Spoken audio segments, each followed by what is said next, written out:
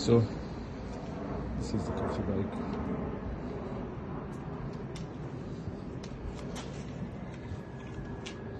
Storage. Water tank, waste tank, pump, inverter to charge the battery, and the battery inside. Brand new coffee machine, sink,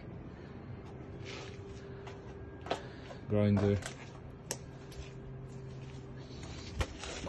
More storage here for the gas. Cup dispenser.